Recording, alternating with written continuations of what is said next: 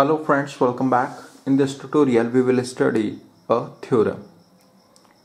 Every context-free language without empty string can be generated by a grammar without useless symbols, empty productions and unit productions. Suppose there is a context-free language which is without empty string and G is the grammar of that context-free language. Now suppose G contains empty productions, unit productions and useless symbols.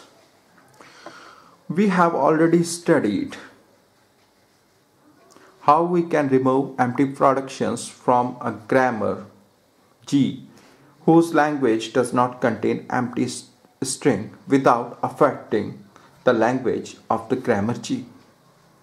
We have already studied how we can eliminate unit productions without affecting the language of grammar G, how we can eliminate useless symbols without affecting the language of grammar G.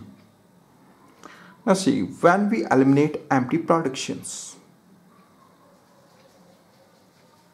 some new unit productions can be produced, right, during the elimination of or by the elimination of empty productions. So the elimination of empty productions may create some new unit productions.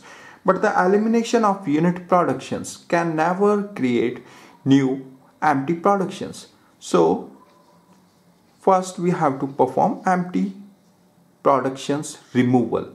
After this we should eliminate unit productions from the grammar G. Now, the elimination of unit productions may create useless symbols in grammar G. So, we must eliminate useless symbols from grammar G after eliminating the unit productions from grammar G. So, first we should eliminate all empty productions then we should eliminate all unit productions then we should eliminate all useless symbols. Right. Now see if we do not perform elimination in this order then we may not get the required grammar.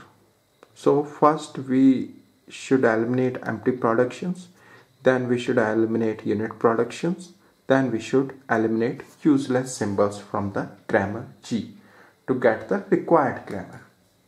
Thank you very much.